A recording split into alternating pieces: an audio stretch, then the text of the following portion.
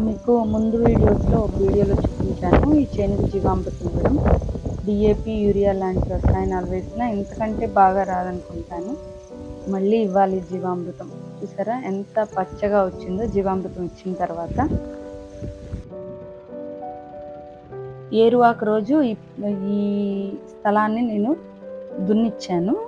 ఆ రోజు అస్సలకి గొర్రు దిగలేదన్నమాట. దిగపోతే అతను ఆ రోజు ఫార్మాలిటీ కోసం అని చెప్పేసి దున్ని నాకు చెప్పాడు కొంచెం బాగా తడిపేసేయండి ఆ నేలని మీరు దున్నిచ్చిన వరకు.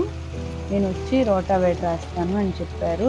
ఒక రెండు మూడు రోజులు బాగా తడిపాము నేల. తర్వాత వచ్చేసి కొంచెం ఆ నేల తడిపిన నేల కూడా ఆరిన తర్వాత రోటావేటర్ వేస్తున్నారు ఈ రోటావేటర్ నేను గమనించింది ఏంటంటే అంటే నాకు వ్యవసాయం గురించి అసలు ఏమీ తెలియదు. ఏమీ అంటే నేను జీరో అన్నమాట. వ్యవసాయంలో నేను జీరో. నాకేం తెలియదు ఇవన్నీ కూడా నేను కొత్తగా చూడడం. అలా ఇది వేసేటప్పుడు ఏం జరుగుతుందంటే ఆ పైన కలుపు అంతా లోపలికి వెళ్ళిపోతుంది. కానీ ఇలాంటి వెహికల్స్ వాడ వాడటం కూడా నాకు ఇష్టం లేదు నిజం చెప్పాలంటే.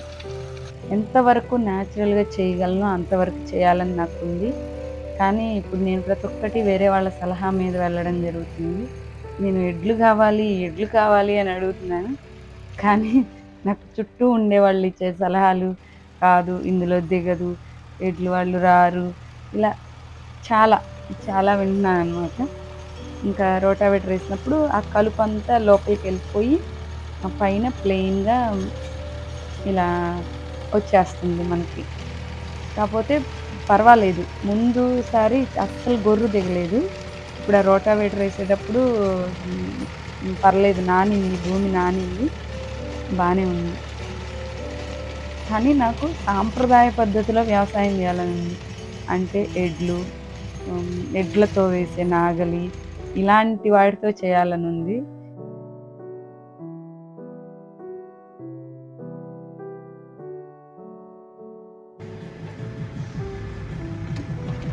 ఇది మా ఆవుల ఎరువు రెండు సంవత్సరాల నుంచి ఉంది. రెండు సంవత్సరాల నుంచి ఉన్నదాన్ని పొలంలో తోలించి కనుకని తీసుకెళ్తున్నాను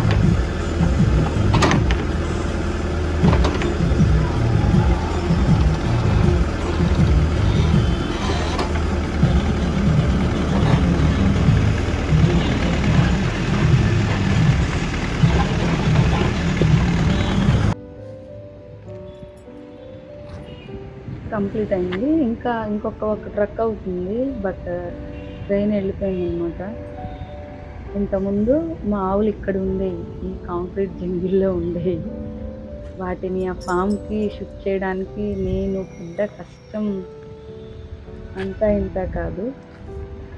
అదంతా మీకు ఒక వీడియోలో చూపిస్తాను మొత్తం మా ఆవులు ఎలా షిఫ్ట్ అయ్యాయి అక్కడి నుంచి అని.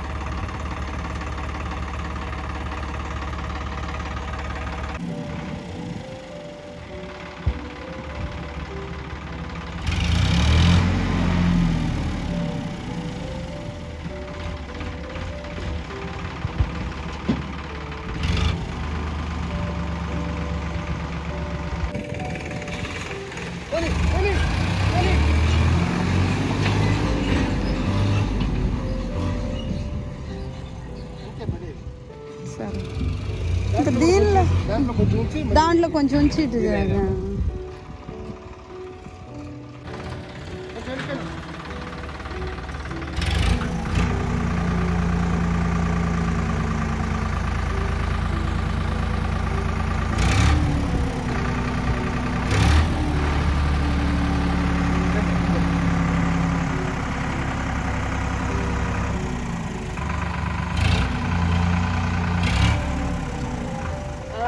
ఆ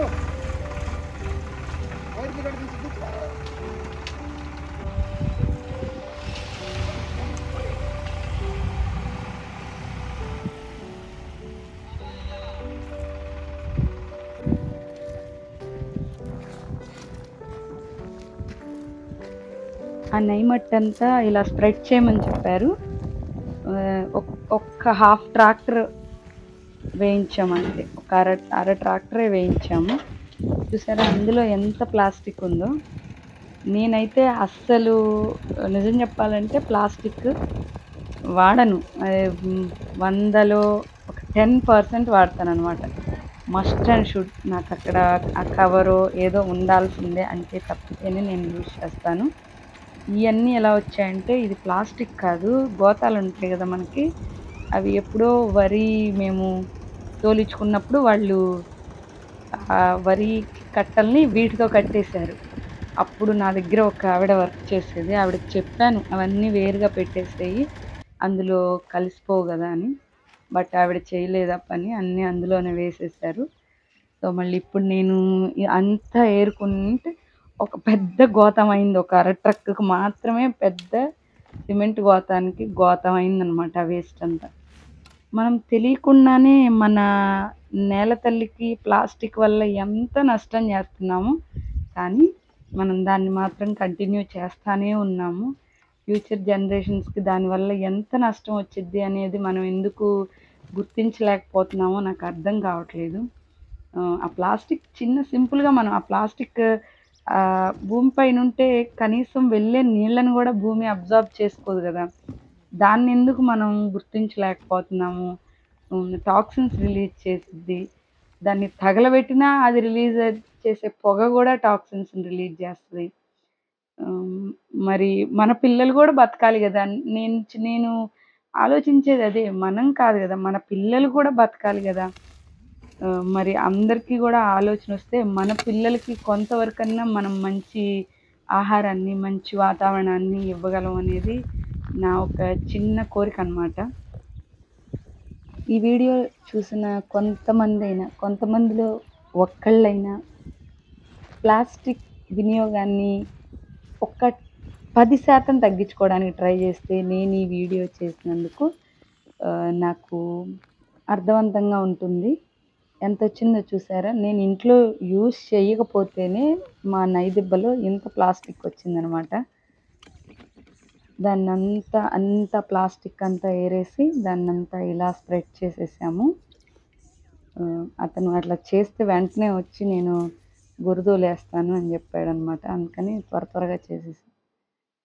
మా వేదాంశకి ఎలిక దొరికింది ఎక్కడో. దాన్ని తీసుకొచ్చి ఆడుతున్నాడు. నేను చెప్తున్నాను దాన్ని ఇబ్బంది పెట్టొద్దు వదిలేసే వదిలేసే అని. గట్టిగా అరిస్తే కానీ వదిలిపెట్టలేదు వాడు. ఆ నచ్చింది దాన్ని పెంచుకుందాము అని చెబుతున్నాడు.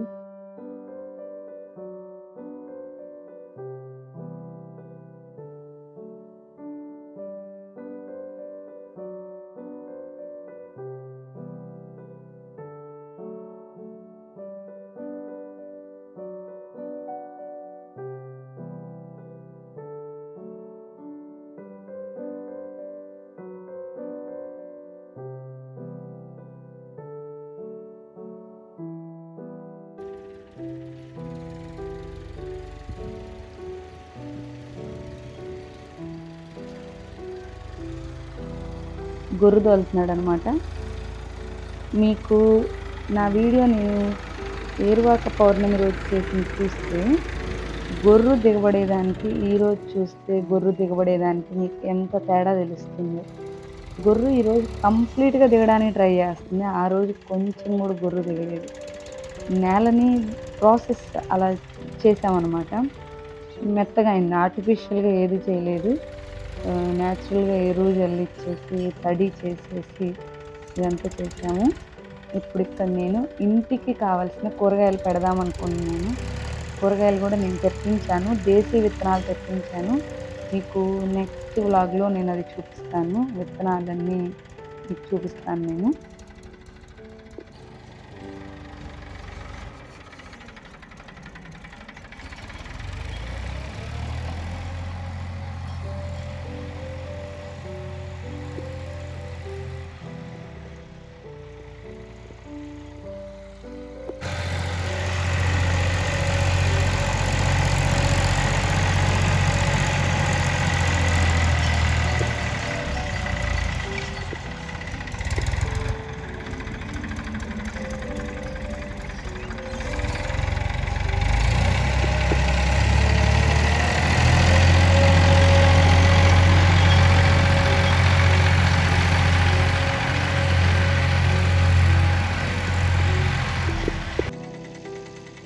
ఫామ్లో ఉండడానికి కొత్త వర్కర్స్ వచ్చారనమాట వైఫ్ అండ్ హస్బెండ్. వాళ్ళ కోసం మేము అది అదే చావిట్లోనే ఒక రూమ్ కూడా కట్టిస్తున్నాము వాళ్ళు ఉండడానికి వీలుగా ఒక రూమ్ ఒక బాత్రూమ్ కంప్లీట్ అయిపోయింది.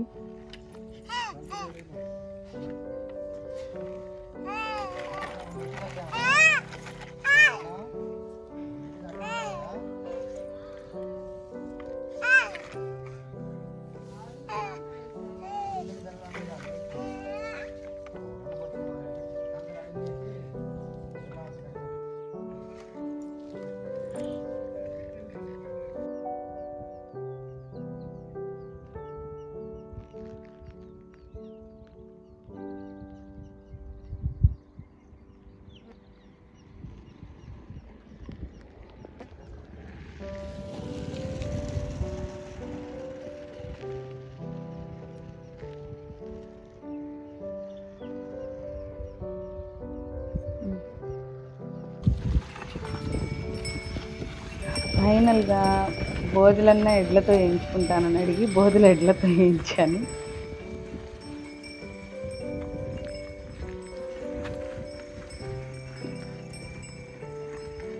అంటే మనకి మధ్యలో కాలువలాగా అటు ఇటు గట్టు అనమాట నిజం చెప్పాలంటే ఇప్పటివరకు నాకు తెలియదు వాళ్ళు చెప్తేనే నాకు తెలిసింది అట్లా బోధలు వేయించుకొని తర్వాత మనం అది కూడా లాక్కోవాలి.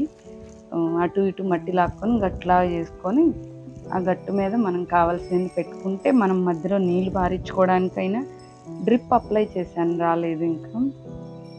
నీళ్ళు పారించుకోవడానికైనా లేదంటే మనం నడుచుకుంటా వెళ్ళి ఏదైనా కూరగాయలు అవి కోసుకోవాలన్నా మనకు వీలుగా ఉపయోగపడిద్ది అనమాట దాంతో లాగి బోధ వేస్తే.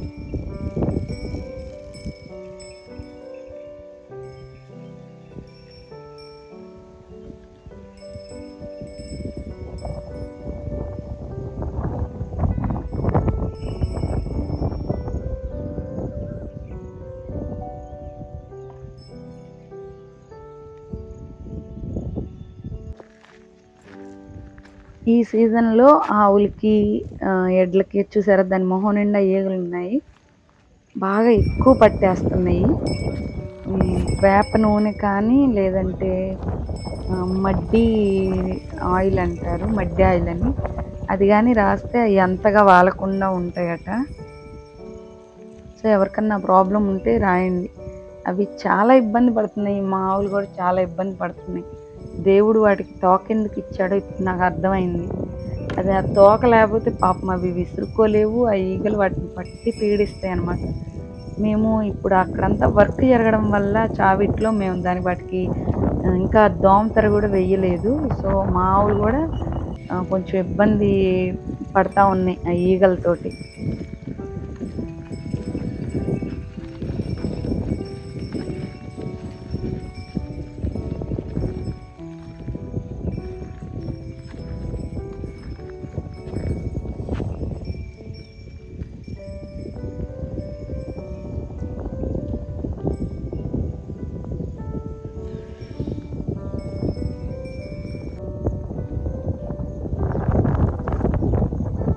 అయిపోయిన తర్వాత ఇలా వచ్చింది. మనకి అటు ఇటు సన్నగా లైన్ కనిపిస్తుంది కదా దాని మీదకంతా మట్టి లాక్కోవాలి. ఆయన అదే ఎక్స్ప్లెయిన్ చేస్తున్నాడు. ఆ కర్ర తెప్పి తెప్పించి లాగి చూపిస్తున్నాడు అనమాట మాకు తెలీదు. మా దగ్గరికి వచ్చిన వర్కర్కి కూడా తెలియదు ఆయనకి. ఇలా లాగు అని చెప్పి చూపిస్తున్నాడు. ఇప్పుడు ఇత్తనాలు దీని మీద దీంట్లో పెట్టుకోవాలా?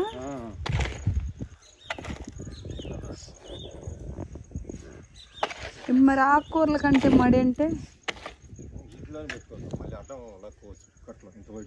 లాక్కొని ఆ మధ్యలో ఆకుకూర పెట్టుకోవాలా?